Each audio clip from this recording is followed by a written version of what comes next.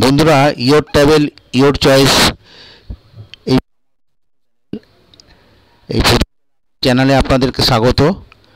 আমি এখন চলেছি আন্দুল রাজবাড়ি।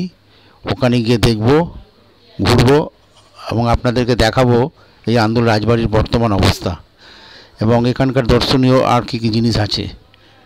তো বন্ধুরা, চলুন আমার সাথে। আমরা এগিয়ে যাই। সালে এই আন্দুল রাজবাড়ি তৈরি হয়। এটি তৈরি করেন রামলোচনের বংশধর রাজনারায়ণ বাহাদুর। কিন্তু বস্তুত এই রামলোচনের হাত ধরেই এই আন্দুল রাজবাড়ি ছিল এবং ইনি ছিলেন লর্ড ক্লাইভের দেওয়ান পরবর্তীকালে ওয়ান, ওয়ারেন হেস্টিংসের দেওয়ান হন। এছাড়া এই আন্দুল রাজবাড়িতে ওয়ারেন হেস্টিংস দুর্গাপুজোর সময়ও এখানে এসেছিলেন। এছাড়া আরও অনেক মনীষী এবং হিন্দি ছায়াছবি সাহেব এখানে শুটিং হয়েছিল। বস্তুত আন্দুলে আছে আরও অনেক কিছু দেখার। সামনেই আছে সরস্বতী নদী। সেই নদীর পাড়ে আজকে আন্দুল রাজবাড়ি। এছাড়া আছে আরও জমিদার বাড়ি। এই সব নিয়ে আজকের এই আন্দুল। বন্ধুরা, আমি এসে গেছি এখন এই আন্দুল রাজবাড়ির সামনে। আমি এখন এই ধীরে ধীরে এই আন্দুলের এই রাজবাড়ির এই আমরা বারান্দার সামনে দিয়ে একটু ঘুরে আপনাদের দেখাচ্ছি। এই বিশাল রাজবাড়ির তার স্থাপত্য, তার বিভিন্ন কারুকাজ করা একটু ফাঁক পেয়ে নাচঘরের ভিতর দিকে প্রবেশ করছি। কিন্তু বাধাপ্রাপ্ত হয়ে আমাকে আবার এই ফিরে আসতে হচ্ছে।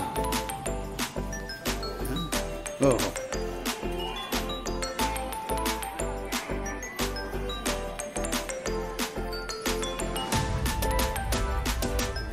রাজবাড়ির ভিতরের অংশ খোলা পেয়ে গুটি গুটি পায়ে ভিতরে প্রবেশ দেখলাম এক অসাধারণ স্থাপত্য শৈলী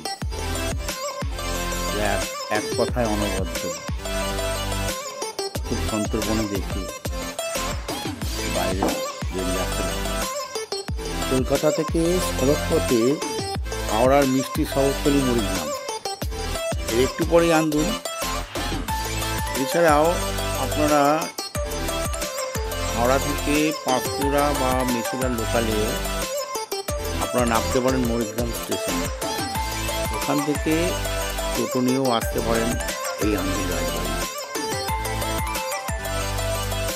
আন্দুল রাজবাড়ির মাঠের পাশেই আছে দুর্গা এখানে অতীতে দুর্গা পুজোর সময় মোষ বলি হতো। এখন এখানে পুজোয় বিশাল মেলা বসে এই মাঠে। আন্দোলনের এই মহল অতীতে ছিল রাজবাড়ির হাতিশাল, ঘোড়াশাল।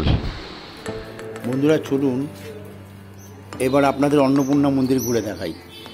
এই মন্দিরে ঢোকার মুখেই আছে কামান, যা অতীতে দুর্গাপুজোর সময় দাগা হতো। আপনারা যদি এই মন্দিরকে ঘুরে দেখেন, দেখবেন চারদিকে আছে চোদ্দোটা শিব মন্দির। এবং বন্ধুরা, আপনারা আসুন এই রাজবাড়ি রাজবাড়ির এই অন্নপূর্ণা মন্দির ঘুরে দেখুন। খুব ভালো লাগবে। আপনারা যদি আসেন এবং দেখেন, খুব ভালো লাগবে আমার। এবং আমার সঙ্গে আপনারা থাকুন। আমার এই চ্যানেলকে সাবস্ক্রাইব করুন। এই বেল বটনে ক্লিক করে দিন। সকলে ভালো থাকুন।